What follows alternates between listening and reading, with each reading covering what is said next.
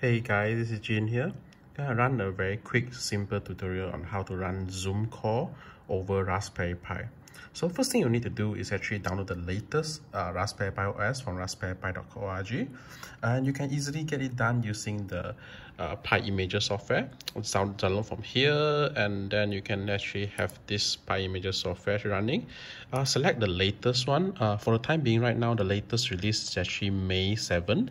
So you can download this into your SD card here and once the thing done you can plug into your raspberry pi. So next thing we can go to is actually a raspberry pi. There are a few components you need uh, majorly three very important components. Uh, first thing is actually the usb sound card. A usb sound card you can get it around 20 ringgit malaysia to 30 ringgit malaysia. Can get easily from Cytron as well. Uh, usb webcam uh, actually connected to the usb uh, this is because the Raspberry Pi own cameras actually process raw footage and you'll use a lot of processing power. It'll be guess it will be best to actually use a USB one because a USB webcam like this actually compress the web, uh, the video quality and then send only the required uh, video to the Raspberry Pi. So Raspberry Pi don't need to comp uh, compute so many processing power. The next thing you actually need is actually a good power supply uh, when running a Zoom call, you'll use up quite a lot of CPU power, and especially when you're connected to a USB webcam as well. So it will be recommended using a good power uh, quality power supply. Uh, minimum, I think 2.5 to 3 M, and and this is a Raspberry Pi 400.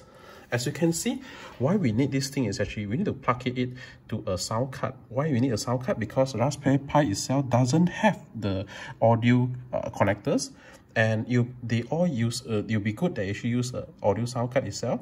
It will actually split out my mic and my headset uh, the reason I'm not using a HDMI from my uh, monitor itself for the speaker output is because it create echo then because uh, the sound will then reflect back to my mic. So a headset is always recommended you, you want to use for video Zoom call or something like that.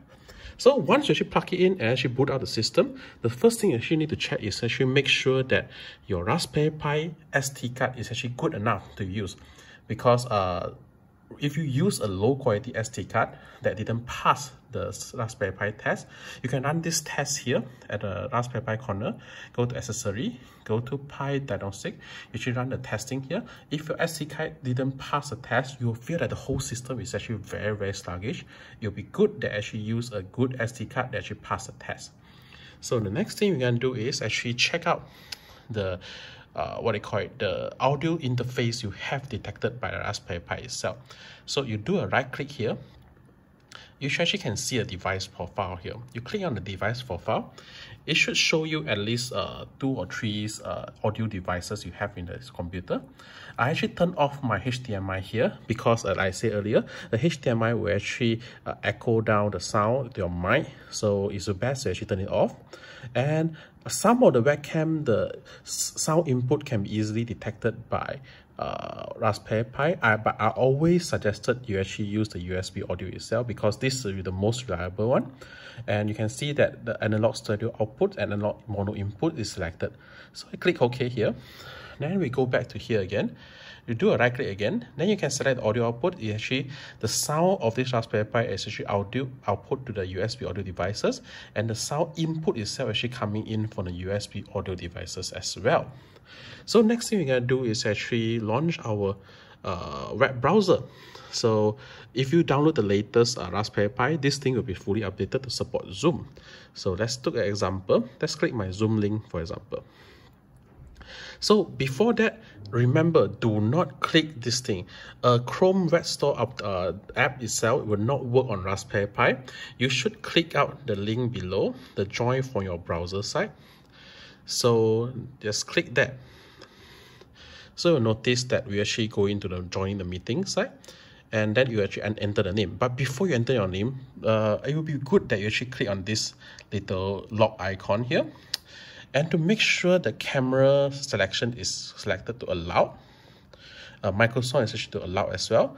And you just want to make sure, again, you can click on the side setting to actually see the whole setting of your this website to make sure that the, the all the cameras and microphone input are allowed in, the, in this uh, interface. So if this thing is connected set up, you can then enter your name here. let's say this is my Pi. So let's go join. So now when joining a meeting, you can see the Pi actually uh, takes some time to load up. And you were waiting for my meeting host to let you in. So let's go back to our meeting here.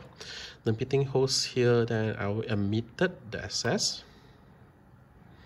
And then uh, you'll be connected. So when first connected, right, it will take some time to actually boot up the thing.